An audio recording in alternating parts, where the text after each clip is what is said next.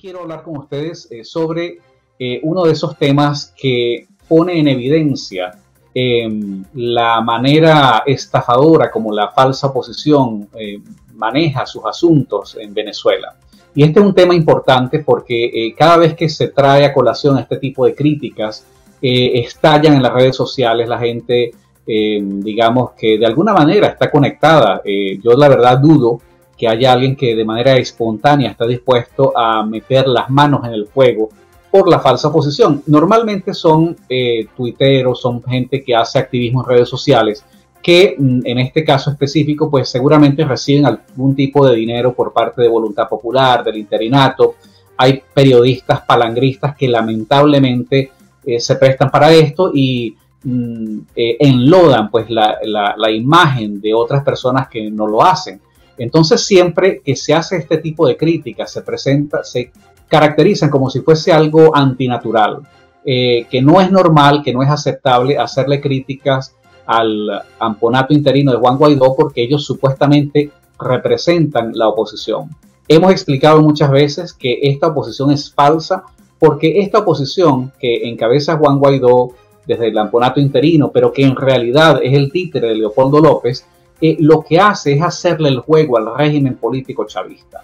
Esto que mm, hace hasta hace unos años era difícil explicar, ahora con la abundancia de elementos de pruebas se puede constatar que existen conexiones directas entre el régimen chavista y eh, la falsa oposición. Pero además de esto está la práctica política deshonesta, corrupta, que les ha caracterizado.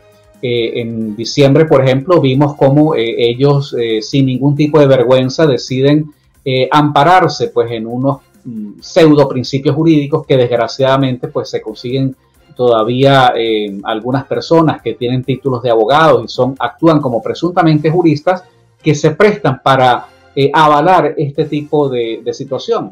Entonces, con base a estas consideraciones, el amponato interino eh, alegó en diciembre que ellos eh, había supuestamente una eh, tesis de continuidad administrativa y en base a esa continuidad administrativa, con base a la constitución chavista del año 99, ellos pues decidían seguir de manera indefinida en el poder. Entonces acá es donde se comienza pues a caer todas estas series de, o, se quedan en evidencia toda esta serie de contradicciones. Estos juristas, que en mi opinión son más palangristas que otra cosa, eh, no pueden explicar cómo es eso de que en la persona de Juan Guaidó eh, se resume el poder ejecutivo de un presidente supuestamente encargado y el poder legislativo. Eh, bueno, esto es algo que ellos realmente simplemente lo ignoran. lo lamentable de todo esto es no solamente que estamos frente a un acto sistemático de robo y de saqueo perpetrado por la falsa posición, por Leopoldo López, por Juan Guaidó, por el G4, sino que también es avalado por algunos partidos políticos, como, el caso de 20 Venezuela de María Corina Machado, el caso de Alianza Bravo Pueblo de Antonio Ledesma y otra gente que siguen recibiendo los beneficios de sostener esa ficción, esa caricatura que han llamado el amponato, eh, ellos lo llaman el gobierno interino, el gobierno que supuestamente va a a provocar el cese de la usurpación, pero que nosotros sabemos que es eh, un amponato porque se han dedicado, al igual que lo hacen los chavistas en Venezuela con Nicolás Maduro y Diosdado Cabello, se han dedicado es a robar. Es la desgracia que estamos viviendo los venezolanos, estar eh, lamentablemente en manos de, eh, tenemos que escoger entre el malo y el peor y no sabemos quién es quién. De manera que em, yo justifico y reivindico toda la crítica que tengamos que hacerle para destruir a la falsa oposición, hay que hacerla, porque son tan corruptos, tan deshonestos como los chavistas que están saqueando en Venezuela.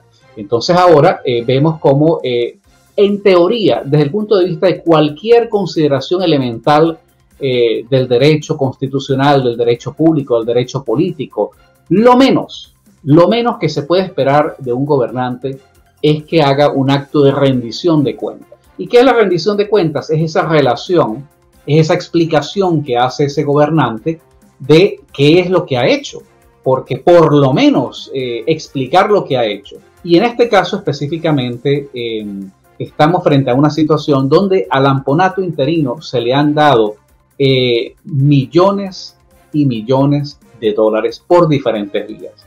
El amponato interino recibe dinero de varios países que conforman la llamada comunidad internacional eh, por concepto de ayuda humanitaria. El amponato interino ha recibido por parte de la agencia norteamericana de, ayuda eh, una gran cantidad de dólares. Se habla, hemos visto más de 700 millones de dólares. Es dinero que se les ha entregado a ellos. Pero a eso hay que agregar eh, otra una tercera fuente eh, de, dinero, de ingresos, y es el acceso que se les ha permitido. Fundamentalmente el gobierno norteamericano a través de la OFAC le ha permitido al amponato interino de Guaidó y de Leopoldo López el acceso, ponerle la mano, administrar los activos que tiene Venezuela en el exterior.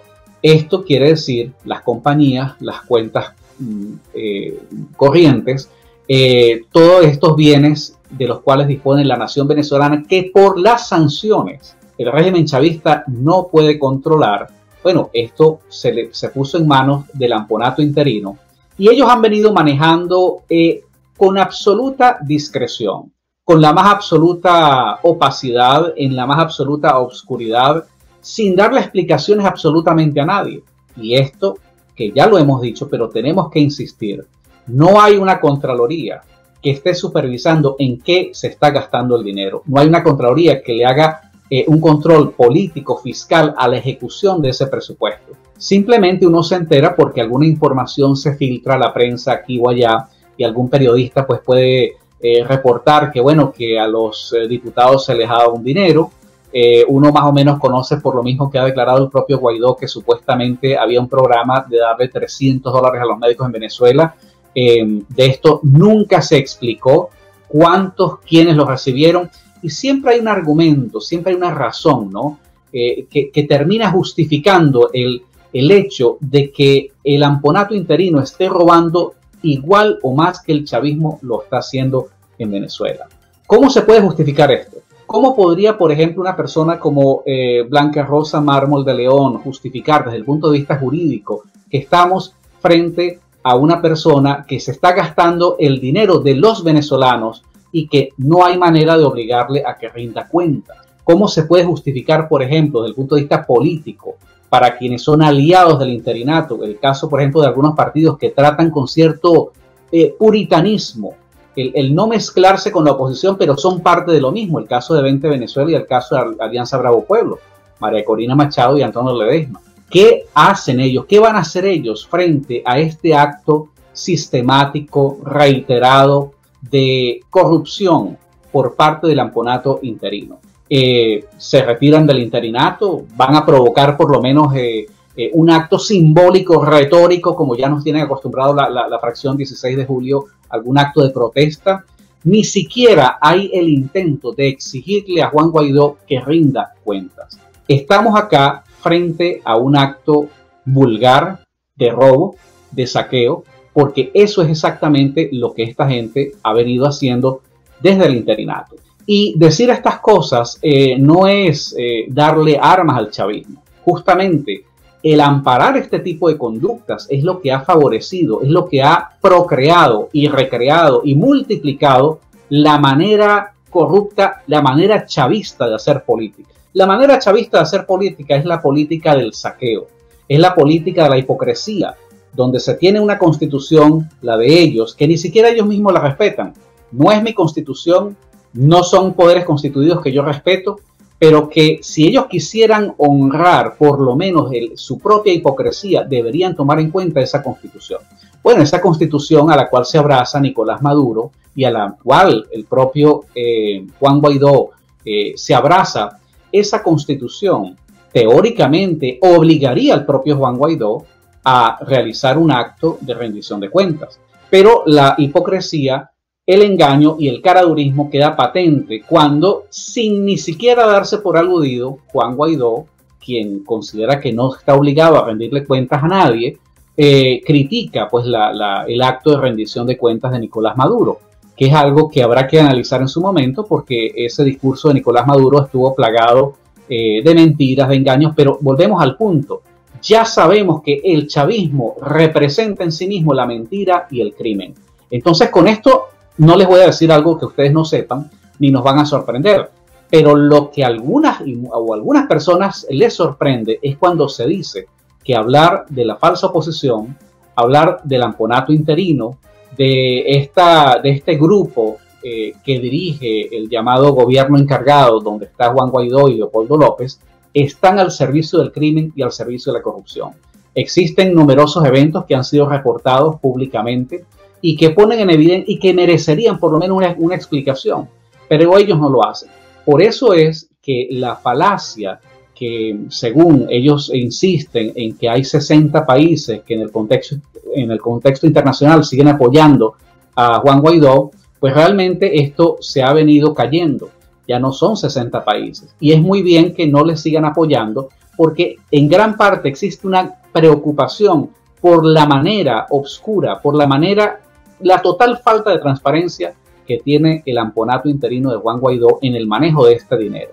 Tiene que haber algún momento, alguna instancia, no será en Venezuela, no sabemos porque este eh, amponato interino vive prácticamente en, un limbo jurídico, pero debe ocurrir alguna instancia en la cual en los países donde este dinero le ha sido entregado a Juan Guaidó y a su gobierno y a sus operadores, se les obligue a rendir cuentas, si no a la luz de la legislación venezolana, por lo menos eh, que esto sea ventilado de acuerdo a las leyes desde el punto de vista local.